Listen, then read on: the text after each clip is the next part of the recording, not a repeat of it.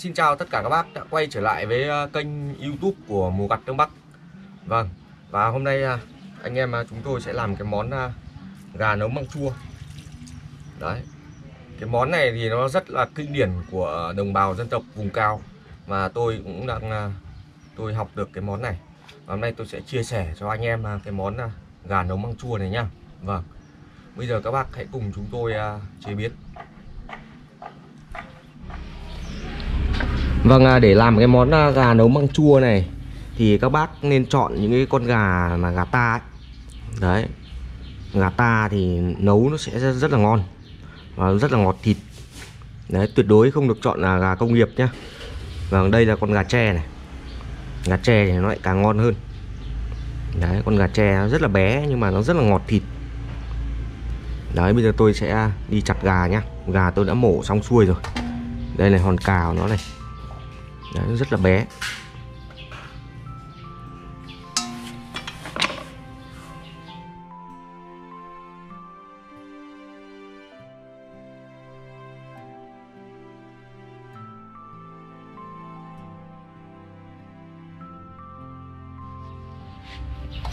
Vâng đấy tôi à, đã chặt xong con gà này các bác này. Đấy con gà tre nó rất là bé.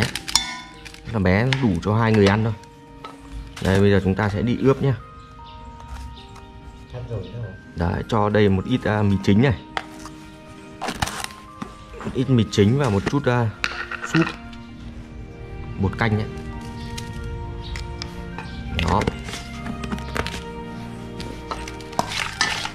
Cho ướp ướp trong khoảng à, uh, 15 phút. Cho thịt gà nó đậm đà.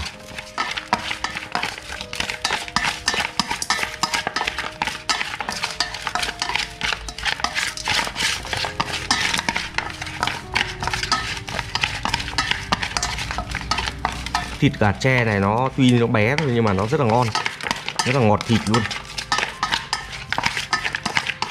Những cái loại này mà nấu măng chua thì à, rất là ngon đấy. Nếu các bác không có gà tre thì các bác có thể chọn gà ta nhé đấy. Vâng và để làm cái món à, gà nấu măng chua này thì chúng ta sẽ có các loại gia vị như sau. Thứ nhất là đây gồm có hành này hành tím và tỏi. Đó. Ở đây uh, gồm có hành này rau tía tô rau mùi tàu và một chút ớt. Và ngoài ra không thể thiếu được của đặc sản vùng cao đó là hạt dổi nướng. Đấy. mình sẽ cho vào đây khoảng hai cái hạt dổi. Mình sẽ gắp than vào đây để nướng cho nó thơm. Đó tí chúng ta sẽ đập đập đi, nó sẽ hết cái bụi đi và chúng ta sẽ nghiền cái hạt dổi này ra. Đó, và ngoài ra không thể thiếu được đó là măng chua.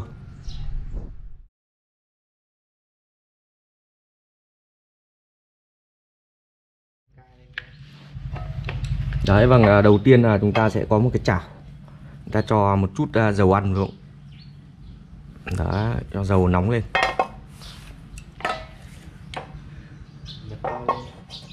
Rồi, to hết cỡ đấy, để chúng ta sẽ bắt đầu phi cái này lên nhá, phi hành tỏi lên. Đó. Rồi, khi mà dầu đã bắt đầu nóng thì chúng ta sẽ cho hành tỏi vào phi nhá. Thơm thế nhỉ? Những buổi trưa đúng đang đói, ngửi cái mùi này thơm lắm. Ta sẽ phi vàng lên mùi thơm quá các bác. Tôi đói mà tôi ngửi cái mùi này là tra tấn lỗ mũi luôn đấy. Đấy chúng ta sẽ phi vàng lên.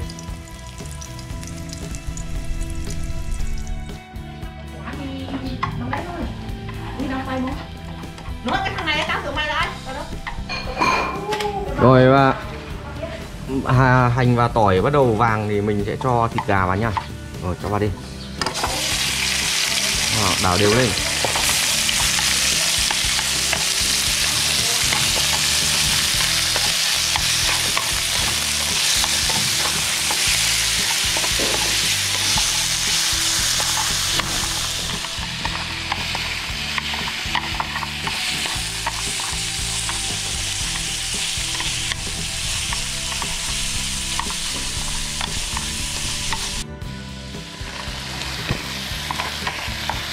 Thơm lắm. Cái mùi hành tỏi này nó phi lên thơm thật đấy.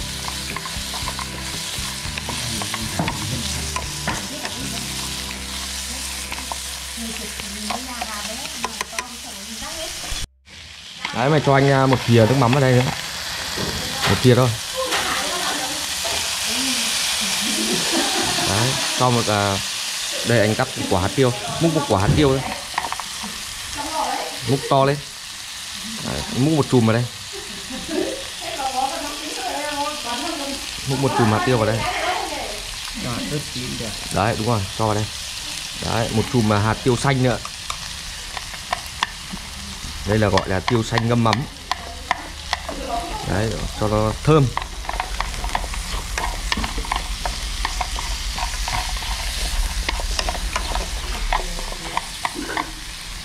Đây này, hạt tiêu à, ngâm mắm này, các bác này đấy, thơm lắm.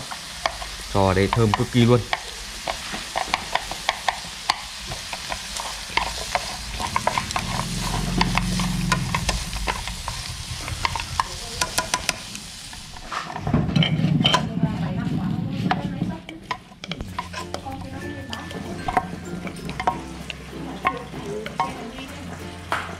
Đấy, và sau khi à, thịt gà đã bắt đầu săn thì chúng ta sẽ cho vào nồi đất nha, các bác nha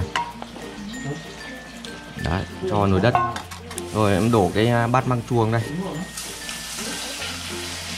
Đổ hết đi.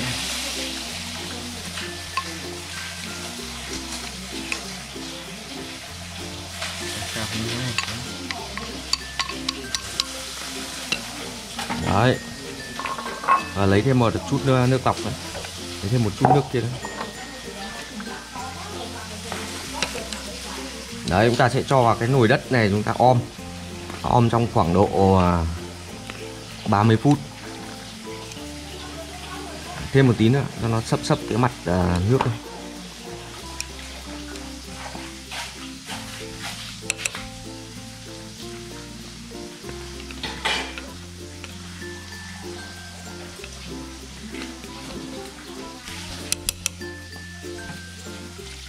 rồi. Đấy, bây giờ sẽ đậy nắp vào để om nhá om cho cái nước thịt gà xương gà này nó ra ngọt lắm. Nước này ngon cực kỳ luôn. Vâng đây là các bác này. Đấy nồi gà của chúng tôi đã được rồi. Đấy các bác có thể thấy là rất là ngon đúng không? Đây các bác có thể thấy là cái nồi đất này nó có cái tác dụng rất là thần kỳ luôn. Đấy khi mà chúng ta bắc ra nó vẫn cứ đang sôi này, này. Đấy vẫn đang sôi nha bây giờ chúng ta sẽ cho hạt dổi này. Đấy cho hạt dổi, à, sẽ cho cái rau thơm này xuống. Lấy đũa lấy đũa. Đấy, gạt xuống dìm xuống. Đấy vậy tại sao mà chúng ta nấu canh chúng ta nên uh, cho cho vào nồi đất? Đấy, cho vào nồi đất thì nó sẽ giữ ấm. Và nó rất là ngon. Giữ rất là nóng rất là lâu luôn đấy đấy. Ui rồi cái mùi thơm lắm. Rồi cái này mà ăn kèm với bún thì quá tuyệt vời luôn đấy. Đó.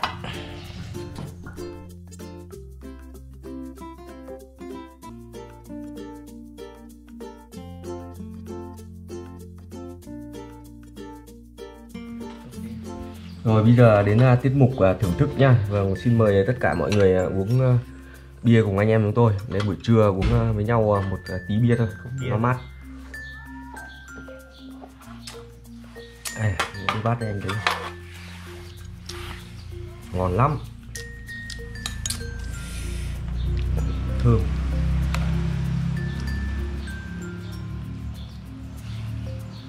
Thơm lắm. Đấy, Mình cũng thử mà tí nước canh. Gà nấu măng chua ngon tuyệt vời luôn. Thơm lắm. Đó. Đây, cho một tí ớt nữa nó ngon. Nó cay uhm. quá ngọt. Quá ngọt quá thơm luôn đấy. Thử ra mời um, à, các bác nha nước vừa chưa? Xem nước canh vừa chưa? Ừm, nước ngọt. Ngọt. Ngon lắm nhỉ? Tuyệt vời đấy. Tuyệt cú mèo luôn. Ăn cơm thì cái này mà ăn cơm hoặc là ăn với bún thì đều hợp nha các bác nha. Đấy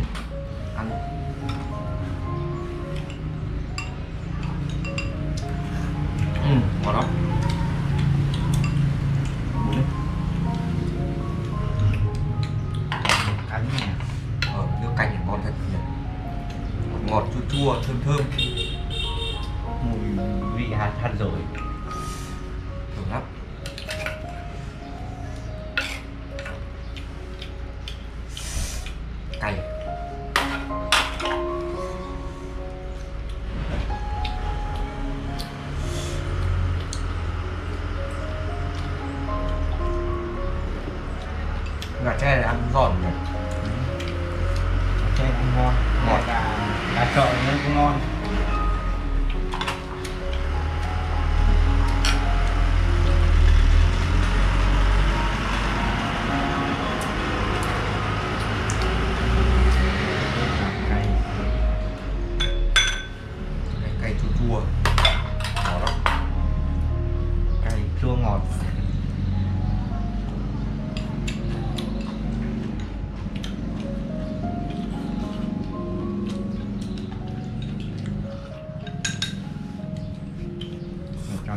thơm nữa thì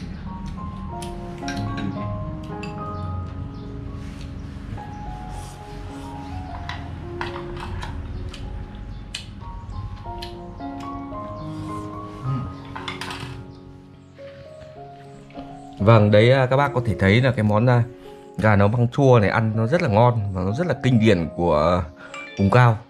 Vâng, hôm nay tôi đã chia sẻ cho các bác cái bí quyết để nấu. Và nếu các bác thấy hay thì hãy cho anh em chúng tôi à, một like và một subscribe để ủng hộ cho kênh nhá. Vâng, tôi xin phép à, được à, kết thúc cái video tại đây. Xin chào, hẹn gặp lại tất cả các bác ở các clip lần sau nhá. Rồi, xin chào. xin chào